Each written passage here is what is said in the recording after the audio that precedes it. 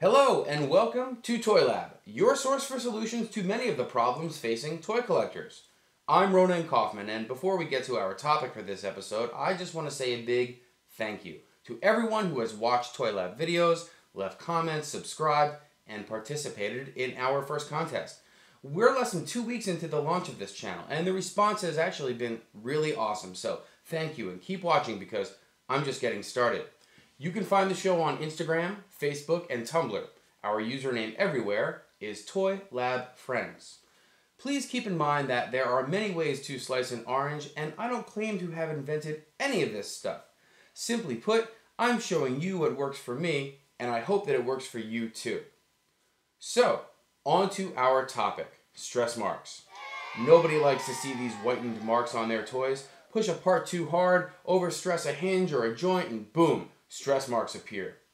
Luckily, getting rid of stress marks is a snap, and best of all, you only need one tool a hair dryer. First, let's take a look at this Transformers Prime Vehicon toy. Here on the wing, you can see that there are these white marks, the result of bending and stress on the plastic. And here's this tiny Kreon arm. See around the opening where the hand goes? Tons of small stress marks from removing and replacing the hand.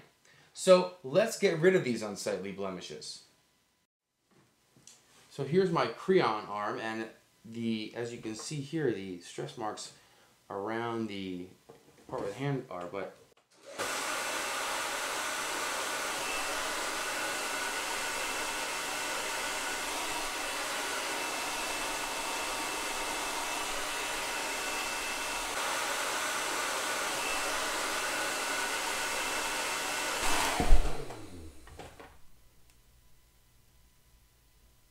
If you look closely, the stress marks are gone on the wrist there.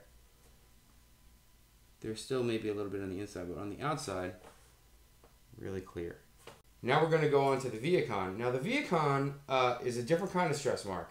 I gave the Vehicon a stress mark on purpose for the purposes of this demonstration, and I'm not sure if it's going to work. So let's see what happens.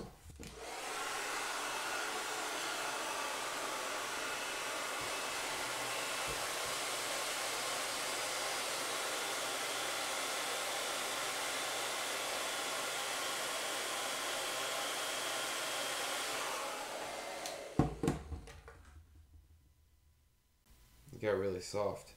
But you can see that the stress marks are gone now. Stress marks are gone. So a little hot, but stress marks are gone on the toy, and that's it. So there you have it. Remove stress marks from plastic in just seconds with hot air from a hair dryer. And that's it for this episode of Toy Lab. Be sure to find us on Instagram, Tumblr, and Facebook. Our username everywhere is ToyLabFriends, and you can email us at toylabfriends at gmail.com.